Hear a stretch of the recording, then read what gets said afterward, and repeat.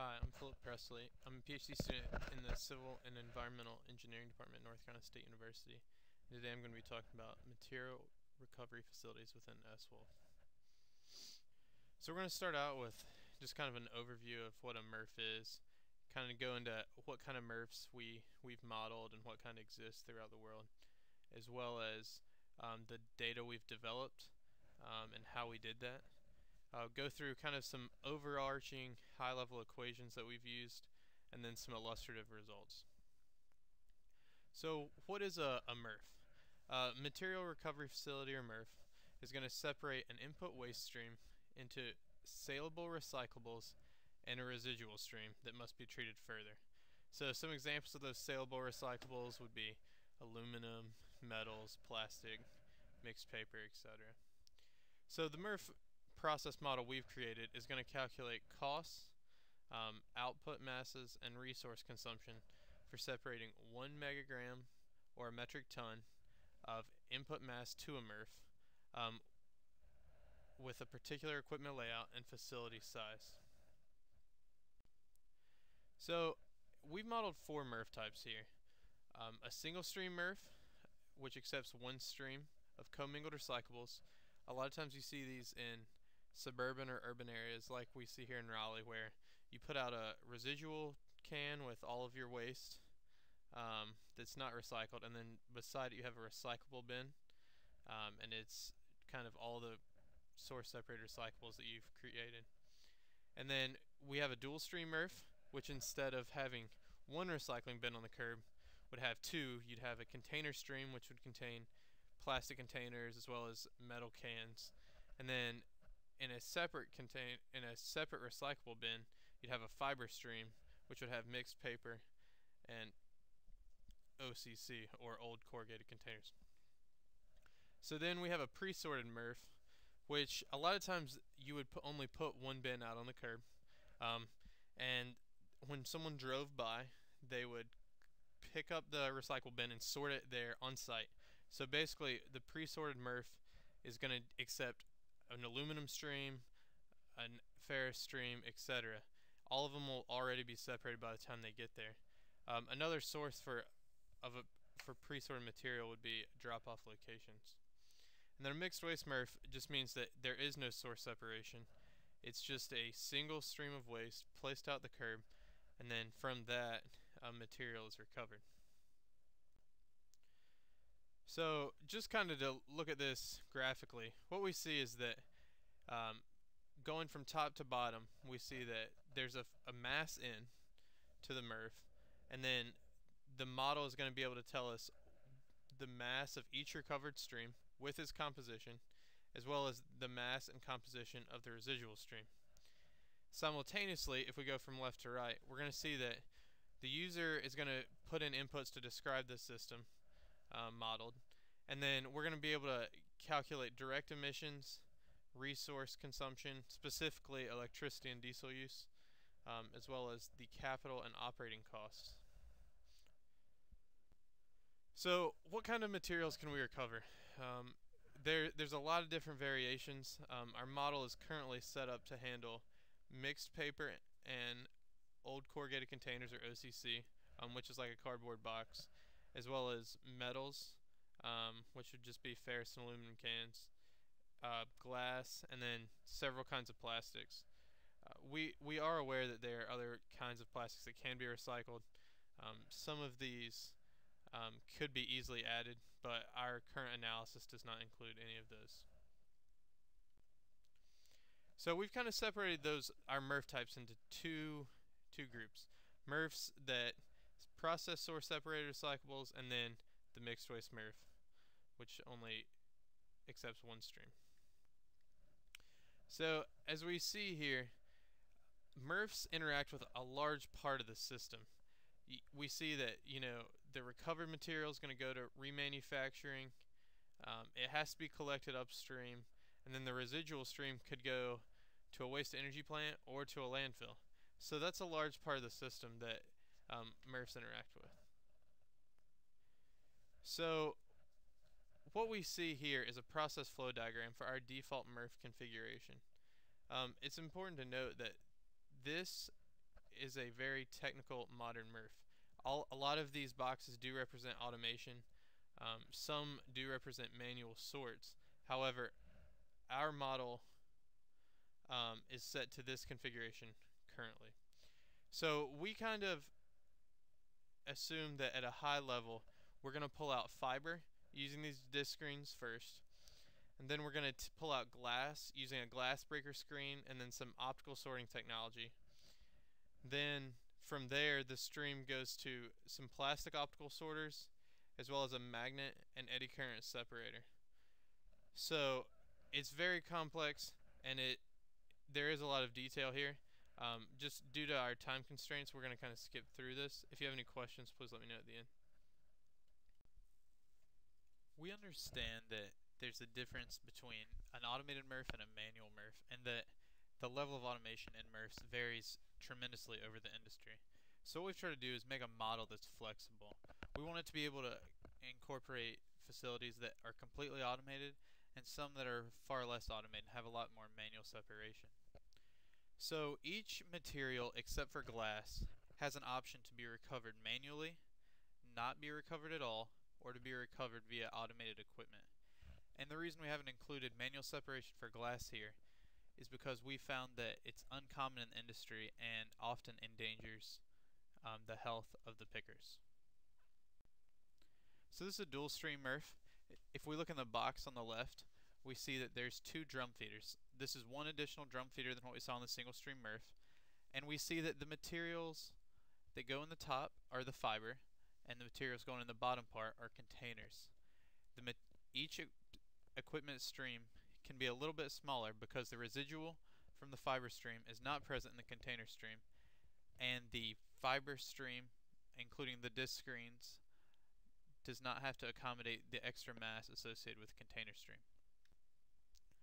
So this is the pre-sorted. We see it's a lot different in general.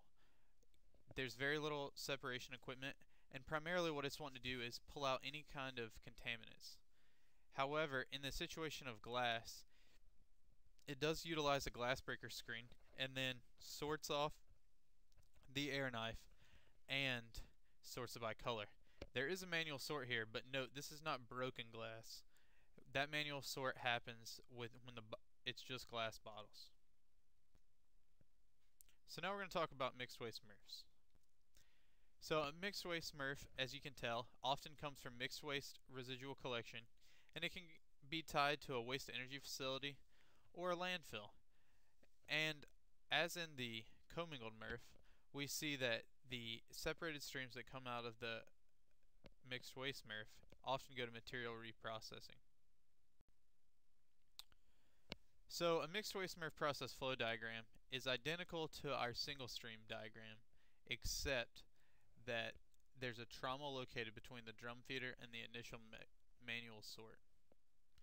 This trommel is going to remove the organic fraction, specifically the food waste, and often targets materials that are smaller than 2 inches in diameter. So the data we've developed throughout um, our process was primarily based on discussions with MRF operators, equipment vendors, and when those were unavailable, we used our engineering judgment.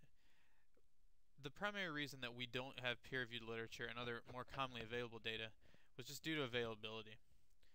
Um, some of the data types we needed to have were the equipment data, which often includes the costs, the motor size, um, separation efficiencies, and we'll talk more about those in a moment, as well as the maximum throughput or the capacity of the equipment.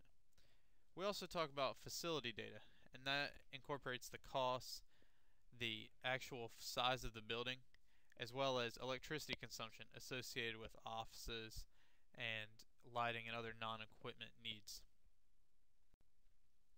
So here's kind of some sample data. Um, we see that there's a throughput as well as a motor capacity, some different utilization factors as well as cost data and lifetimes. It's important to note that as we go through, we can put any values here that we need to. Um, just because we do see similar values for O&M costs and the utilization fractions, that is not required by the model. So here's our mass balance. we see on the left that we have an input mass and it's going to be separated into a removed stream and a remaining stream. And so in the case of a magnet, it would take input mass and it would turn the it would remove ferrous or um, and we would call that the remove stream and it would allow the remaining mass to which would be aluminum and other residual fractions to continue on through the facility. To separate the removed mass, we're going to use separation efficiencies in the model. So our mass removed is calculated by taking a separation efficiency and multiplying it by a mass throughput. And a separation efficiency here is going to be the fraction of a, an individual material that is removed by that particular piece of equipment. So, for example, if the magnet shown below re removes 90% of the ferrous that goes into it, we would have a separation efficiency equal to 90%. It wouldn't apply at all to the aluminum or any other fractions that would go through. Those would continue on unimpeded if that was in fact the case. So then to calculate the remaining stream, we just kind of use arithmetic. We know the mass that goes in, and we've used the separation efficiency to calculate the removed, so we subtract those two to get the remaining mass, or the third stream. We also understand that different equipment has different purposes within individual MRFs, so we want to make sure that we could accommodate of different kinds of allocation. Um, we know that you put magnets in MRFs to recover ferrous. You put um, optical sorters in to recover glass and plastic. And so allocating all of the cost and resource use to total throughput isn't always appropriate, nor is it always appropriate to allocate it to the removed mass or the remaining mass. So what we've allowed is for each piece of equipment, you can allocate mass separately. So our default configuration allows for the mass removed for equipment um, that's used to remove certain waste fractions like those magnets and optical sorters. We're just going to allocate that to the mass removed. For everything else, things like disc screens or glass breaker screens that we use to separate two fractions from each other, both of which benefit. Or things like a, a drum feeder, which just has a mechanistic purpose we're going to allocate that to the total throughput. However, if you are doing an analysis that it would benefit you to use another choice, um, it is easy to change the allocation for a particular piece of equipment. So here's kind of our sample resource consumption um, by MRF type. But before we before we look too much of this, we should clearly state that there is no way that we can look at these numbers and determine which MRF is better. There's inconsistent functional units. Each of these MRFs to be implemented within a system requires a different kind of collection, different kind of support processes. So for us to look across these and say, oh, there's a pre-sorted MRF, it uses less electricity, and it's the cheapest, that's the better MRF or the best MRF, is inappropriate. We should not do that under any circumstance. However, at a high level, we can just kind of comment on how the MRFs relatively perform, but understand that these do not have system levels system level um, implications. So we do see that the high contamination increases equipment size and electricity demand in mixed waste MRFs. But since there's lower labor costs, the total cost is less than the single stream and dual stream MRFs. We see that the smaller equipment allows dual stream MRFs to have lower costs and electricity consumption than the single stream MRF. And once again, that's because we see that the container stream does not have to go through the disc screens and other components of the fiber stream, nor does the fiber residual need to go through the container stream equipment. We also see that pre-sorted MRFs, as you would expect, have the lowest cost and electricity consumption just because they're relatively simple and lack much of the automation of the other MRFs. So here's kind of a very bright and colorful figure um, that kind of illustrates the waste composition and how that can alter the different MRF electricity consumption. Um, here we've only shown the single stream MRF. So glass separation equipment accounts for 10% of the MRF electricity consumption. But we see that each other each other type of separation equipment accounts for less than that. It's important to note here that office electricity as well as the lights in the warehouse, each account for 8% of total electricity. And that we see an almost 100% swing based on composition of electricity consumption per megagram. It's a really large swing, and a lot of that has to do with exactly what pieces of equipment have been included. As you would expect, the ODEQ, which represents an Oregon waste stream, has a lot less glass in it, hence the much smaller um, glass and glass breaker screen and glass optical sorter energy requirement. So here's some references. Um, the first paper is a waste management article we have recently published and details this model exactly. And we also have another article that contains a description of a refuse-derived fuel model in its supplemental information. We'd like to thank the National Science Foundation and the Environmental Research and Education Foundation for their support on this project.